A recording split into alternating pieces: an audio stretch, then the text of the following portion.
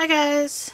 So, thank you so much to Smart Art who sent me their May box to review.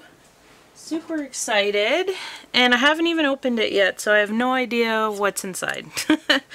so they told me this was their May box for Smart Art, so I'm going to open it with you guys and see what's in the box because I don't even know what's inside for the art projects. I do love their boxes though, they're super pretty and cool and vibrant. Ooh. So let's make sure you guys can see.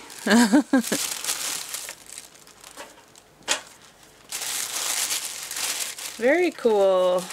So this is Smart Art, and they send a box each month. This one looks like it's got some marbling stuff inside. Oh! So we get to do some marbling. That's pretty cool. Oh, I love it. And they're showing with the silhouette on top. Just like what we do with acrylic pours, so that's really cool. And then we've got some warm white paper. See what else we got. We got little cards. Oh my goodness, look at this guys. Super cute little pin thing. It's like a monkey shape. That's adorable. Some swirling skews. Smart art sticker. I might put that on my pressure pot. And we got some Dura-Bright. Oh, very cool tips and tricks in there, they say. And oh, pretty. Oh, and a little lollipop. Some art liners, which are always handy. Love that. Gloves. And we got these beautiful marble paint. So it says Easy Marble, marble paint. Wow, that's awesome. It does say it's flammable, so we'll just keep it away from fire, but we've got lots of pretty colors. Look at, we've got blues. These are like dark blue, medium blues. There's some gold, black, and silver. And we've got some nice hot reds. That is super cool. That's almost like the fire and ice video I did. So that's pretty cool that we can play with all of these. Wow, thank you so much, Smart Art. I can't wait to play with these. I'm gonna have to set something up and read the instructions, I guess, on what they... Looks like I just need a little container to put them in. So, very cool. And you can even marble on, or dip different containers and stuff. So I might pull out some things to try with it and get some stuff ready and then we'll try out this uh, Smart Art box for May. Okay, so I have gotten a tray and filled it with water and I opened up all these pretty beautiful colors, gave them a good shake because they were saying to really give them a really good shake before using them. So it does say that this easy marbling is toxic, so you gotta be careful. And so that's why the gloves, obviously. and uh, they give some good pointers, like putting the paint close to... Oops, these gloves just ripped. That's okay. we'll get it on there. I was pulling too hard. So yeah, definitely gonna have to wear some gloves when doing easy marbling. But I'm kind of excited because I haven't done marbling in a very long time. You know, I used to use uh, nail polish to do marbling and stuff. Just super fun. So, big thank you to Smart Art. And we're going to try this out. They also gave this Dura-Bright paper which is, they call it a heavyweight opaque polypropylene film, durable mixed media surface for watercolor, alcohol inks, sprays, and acrylics. So that's pretty cool. I'm going to try that paper out too. Now we got all these fun super colors. Now I got to figure out what colors to do. And when I open one, you know what? Let's go with this dark blue because what is this one? Oh, they call it turquoise. Although this one looks more like turquoise because it's aqua green, but I don't know if there's a... Oh, look at that. It's got a little... A little... Uh, oh, there we go. Oh. I guess we just put it on like that. Very different. Oh, you can definitely smell them. but this one's called light blue. I don't know if I want light blue. Or let's go with some silver. Definitely do this in a well-vented area, guys. That's kind of pretty. Silver and blue always look good together. I don't know why I'm making such a big area of it, but silver, blue, because these ones are orange. I mean, we could put orange, but I don't really want it to mix with the blue. So I'm going to do a turquoise. And it looks like you can just... Oops, you gotta do it close to the surface, otherwise they fall to the bottom. I saw some just fall. This turquoise is really pretty. Definitely smell the paint. but uh, I think, and then I can move, I can move it around I think. Oh, it's already drying on the surface, which is kind of crazy.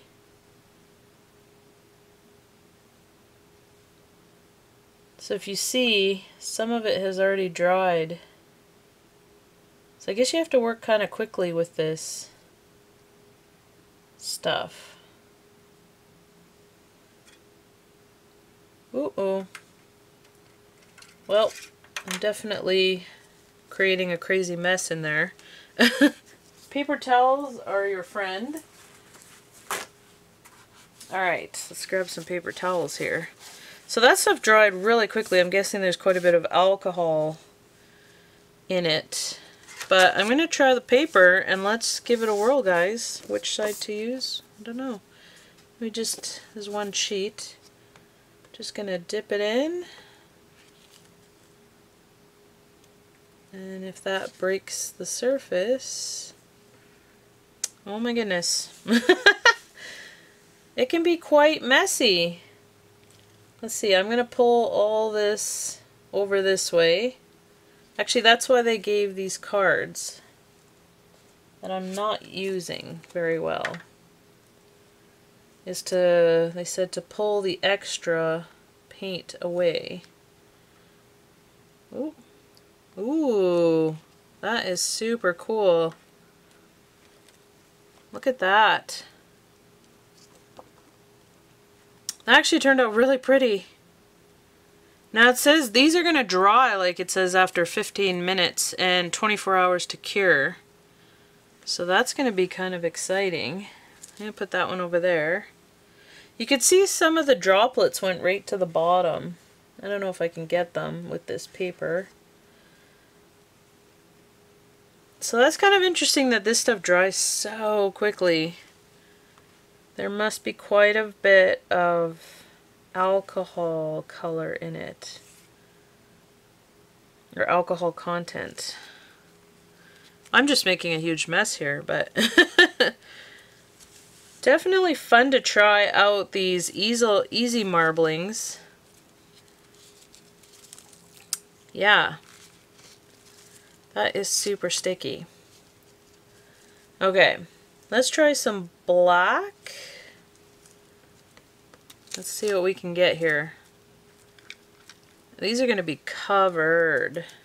Oh, look at that. That one went super crazy. Some black. What else should we try here? I think I might need to get new gloves because these are not working for me. I need my own gloves. so I might have to get a pair of my own that I keep reusing. Okay. I'm going to do gold. I think gold would be pretty.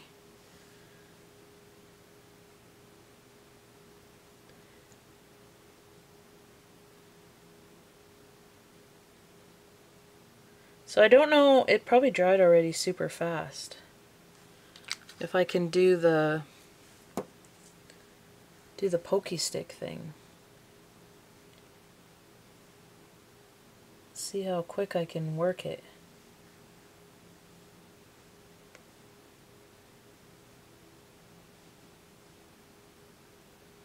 Ooh, that's kind of cool.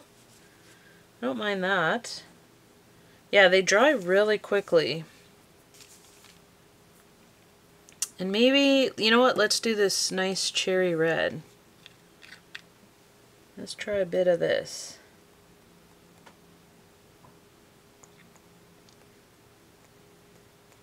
Which is not coming out very much. this is actually kind of cool. Alright. Although the circles are growing. Okay, let's leave it at that. So that was gold, black, and cherry red. Looks pretty cool. Okay, I'm going to go back to my own gloves that I'm used to because those other ones are a bit crazy. And I'm just going to drop it in.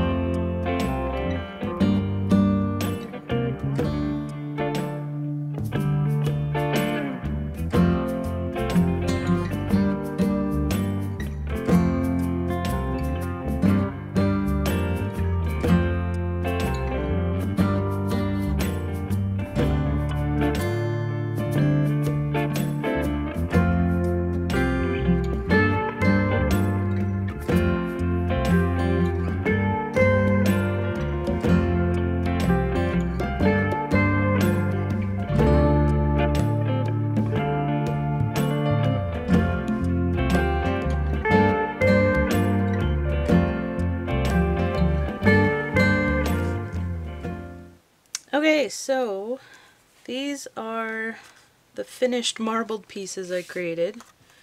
Uh, this one was on the Stonehenge paper and actually turned out, I think, better than the other ones that were on the Dura-Bright.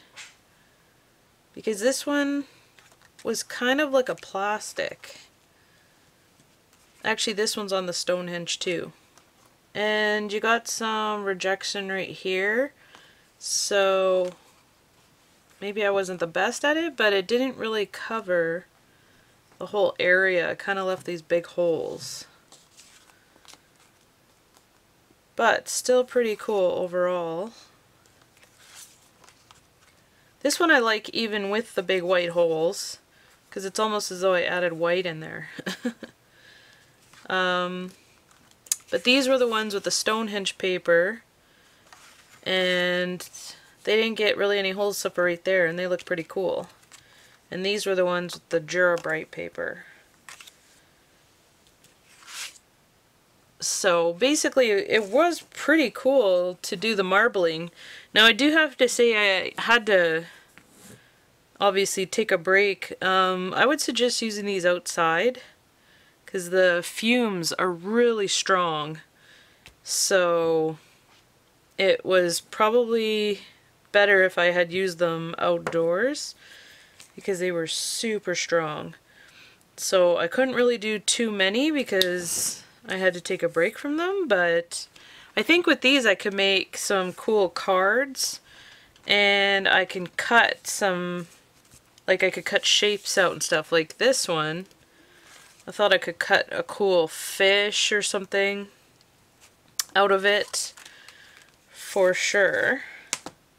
And they gave these pens too, which you can use to draw on. So I'm just going to test it out and see. Like this looks like kind of like a little fish eyeball.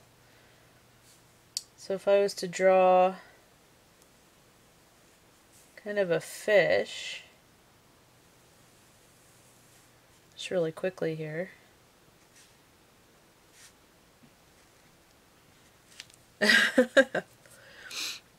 you could cut shapes out of them and use them on cards, a whole bunch of different stuff. It's kind of a cool pattern.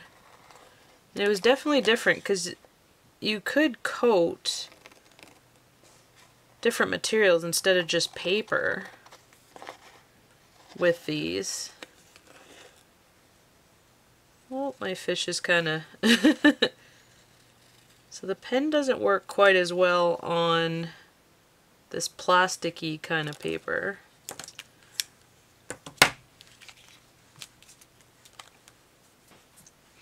But there's a fun fish. And you could totally collage them and do different things with them.